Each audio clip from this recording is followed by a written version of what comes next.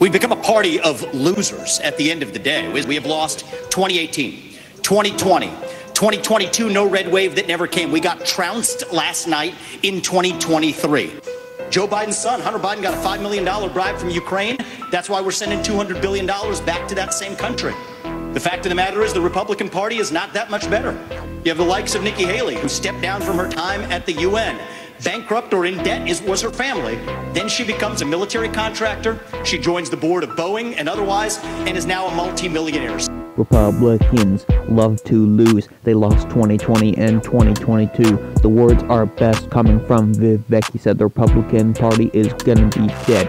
I'm paraphrasing, not being direct, but you get the overall point of what I just said. Republicans love to lose. They lost 2020 and 2022. Ron DeSantis and Nikki Haley, they both suck and they've gone crazy. Support destabilizing the Middle East. Make sure no one survives in the Middle East. GOP's insane, yo. Should we support Ukraine? No. But they fly over in their planes, yo. Republicans, they have no brains, yo. They should stay over here in their domain, yo. No flying overseas in planes, yo. The election was clean because I say so. The election was clean, you know I say no.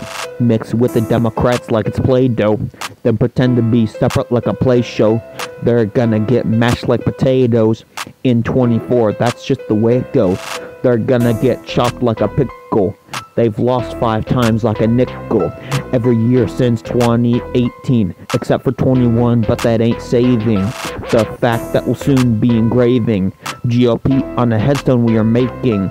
This ship is going down and we should panic. There's no rescue coming like it's the Titanic.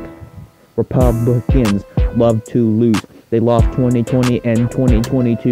The words are best coming from Vivek. He said the Republican Party is gonna be dead. I'm paraphrasing, not being direct, but you get the overall point of what I just said. Republicans love to lose. They lost 2020 and 2022. Republicans love to lose. They lost 2020 and 2022. The words are best coming from Vivek. He said the Republican Party is gonna be dead. I'm paraphrasing, not being direct, but you get the overall point of what I just said. Republicans love to lose. They lost 2020 and 2022. Republicans love to lose. They lost 2020 and 2022. The words are best coming from Vivek. He said the Republican Party is gonna be dead. I'm paraphrasing, not being direct, but you get the overall point of what I just said. Republicans love to lose. They lost 2020 and 2022. Republicans love to lose. They lost 2020 and 2022.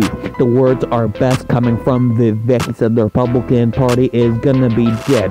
I'm paraphrasing, not being direct, but you get the overall point of what I just said. Republicans love to lose. They lost 2020 and 2022.